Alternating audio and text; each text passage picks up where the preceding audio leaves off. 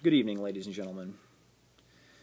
Exactly 15 days ago, I made the decision to shave my beard, leaving only a mustache. And with the aid of Vaseline and water, I was able to curl the ends to kind of give it this classic look, um, reminiscent of, I don't know, a 1920s boxer or a World War I soldier.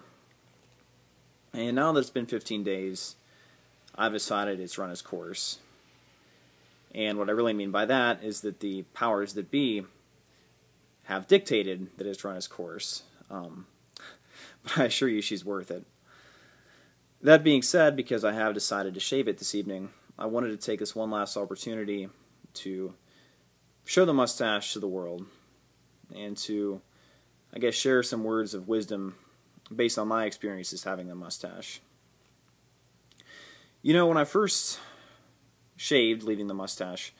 Um, it was really meant to amuse my friends and family. After all, it's not something that you see very often. It's not a common style.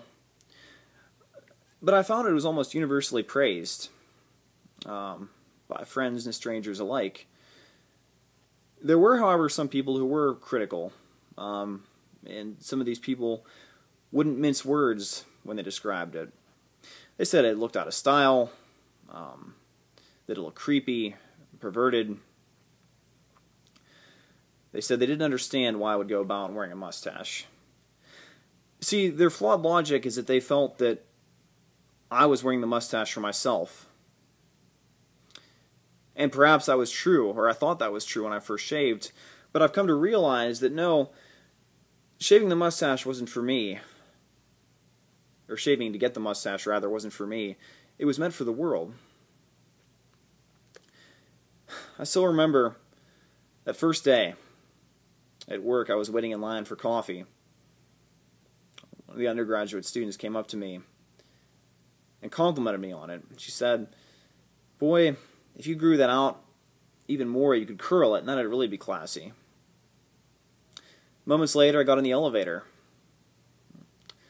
Another gentleman working in the building was so startled and delighted by it that he had to ask me if it was real. Another postdoc came on, and she too had good things to say. The next day, I was buying cheap pizza at a 7 Eleven.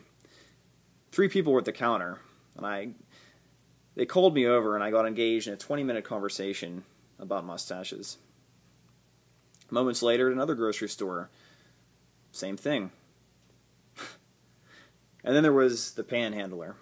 I was going for a run. He asked me if I had money. I said, I'm sorry, sir, but in my running clothes. I have nothing on me. I thought that would be the end of the interaction. Instead, he said, Man, that's a, that's a nice mustache. And I said, Oh, thank you, sir. And we got in this extended conversation. And he said, Man, I see everybody else are going to work.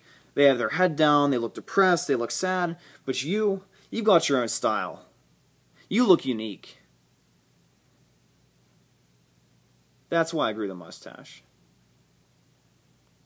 Because you know what? For the first time in my life, people felt comfortable approaching me. People felt comfortable viewing something about me, something physical, and giving me a compliment on it, discussing it with me. They were intrigued by it. Because having a mustache something of a throwback, isn't it? To a bygone era. People forget that for centuries, the mustache was the preferred facial hair in numerous cultures. And though it has gone out of style, who knows when it will return. The mustache is a throwback to some things that were lost about our culture. That friendliness, that neighborliness. You know, so often people tell you, you have to experience new things. They talk about traveling to foreign lands, getting on plane tickets, exploring the world. But they overlook exploring what's in our own backyard. A plane ticket to Brazil costs $2,000. Growing a mustache only costs time. And that mustache was more valuable than any plane ticket, was, valu- was more valuable than going to any other country. Because this allowed me to explore my own neighborhood, to more intimately meet those around me, people who I'd normally not look twice at, people I normally would not communicate with, because I'm so caught up in myself, so caught up in my own world. But with the mustache, no longer was life mundane. No longer was life unfriendly. Instead, I moved aside all the busyness and hustle and bustle of our society, looking through the lens of someone who lived years ago. And I saw something beautiful. Because when you pull back the coldness that we the cold persona that we put up, when you tear down the brick walls that we build around our hearts, what you see is something that's truly special. And that's something that without the facial hair I hadn't really seen before. And so I'd like to encourage all of you, wherever you are, whatever stage of life you're in, say hello to the person with the mustache. Maybe you have a mustache. Because you know what? That was another positive interaction. When I'd meet somebody else with a mustache and we'd compare notes. So many people over the course of 15 days. But, as George Harrison said, all things must pass. And so, as I prepare to take the razor to my face, I just want to again say